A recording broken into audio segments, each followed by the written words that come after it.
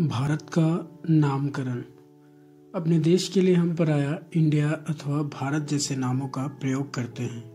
India शब्द Indus से निकला है, जिसे संस्कृत में सिंधु कहा जाता है।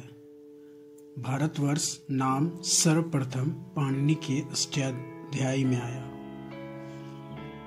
भारत देश का यह नामकरण ऋग वैदिक काल के प्रमुख जन भारत, भरत के नाम पर किया गया।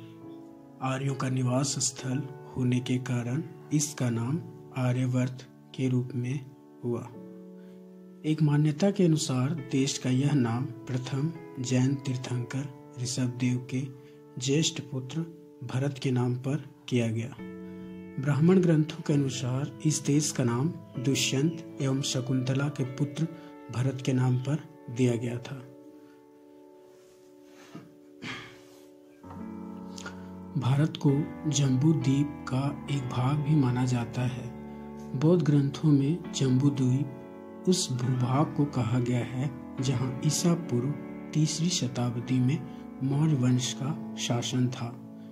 यूनानियों ने भारतवर्ष के लिए इंडिया शब्द का प्रयोग किया, जबकि मध्यकालीन लेखकों ने इस देश को हिंद अथवा हिंदुस्तान नाम से संबोधित किया।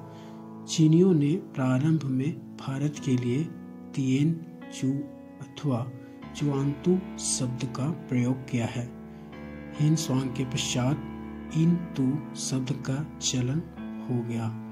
इत सिंह ने भारत के लिए आर्य देश और ब्रह्म राष्ट्र जैसे शब्दों का प्रयोग किया।